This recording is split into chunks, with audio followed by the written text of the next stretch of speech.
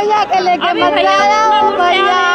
के लिए वो भी नहीं आए अरे भैया अरे भैया के लेके जाया मत हो भैया।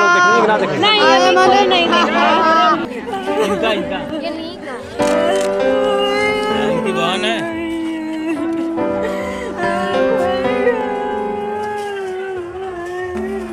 पुलवामा हमले में शहीद वाराणसी के लाल रमेश यादव का पार्थिव शरीर उनके घर पहुँचा तो भारत माता की जय, पाकिस्तान मुर्दाबाद और पाकिस्तान से बदला लो सरकार के नारे गूंजते रहे।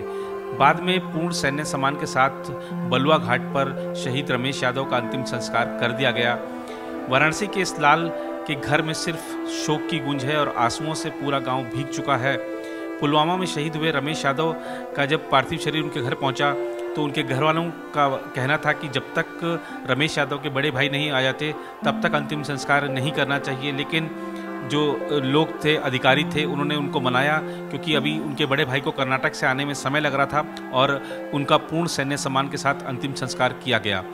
उत्तर प्रदेश के मंत्री अनिल राजभर शहीद के घर पहुँचे और कहा कि जो शहीदों के परिवार हैं, उनको सरकार हर संभव मदद देगी। जितने भी उनकी मांगे हैं, वो सब मानी जाएँगी।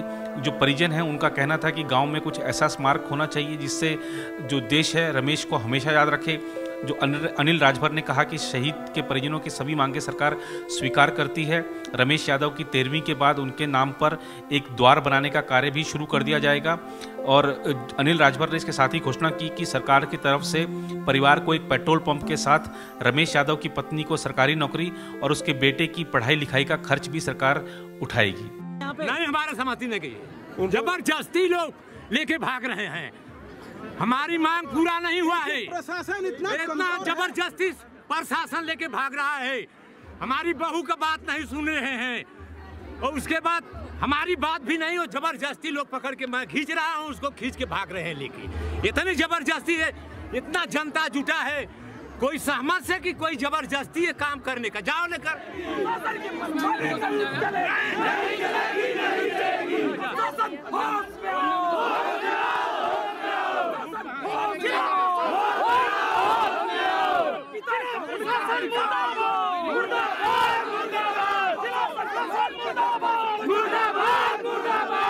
ਪ੍ਰਸ਼ਾਸਨ ਮੁਰਦਾਬਾਦ। ਮੁਰਦਾਬਾਦ ਮੁਰਦਾਬਾਦ। ਜ਼ਿਲ੍ਹਾ ਪ੍ਰਸ਼ਾਸਨ ਮੁਰਦਾਬਾਦ।